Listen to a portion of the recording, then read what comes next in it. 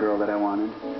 and uh, being there with Sarah, it was a it was a beautiful experience to be able to be there with her. um, I felt um, I felt at complete peace. So together they fight, hoping and praying for a miracle. If a miracle is not to be, Sarah says she'll accept the Lord's will. Am I bitter with God?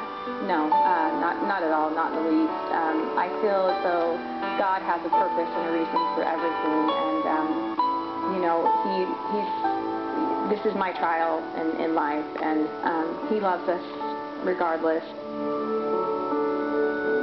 I don't feel a, a why me, but rather thank you.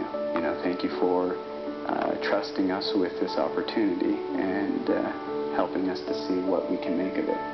I, I felt very much so comforted um, spiritually, and God has helped me get through this. Um, and now I am to the point where I feel um, if it's my time to go, then it's my time to go. But um, hopefully, you know, but I also believe in miracles too.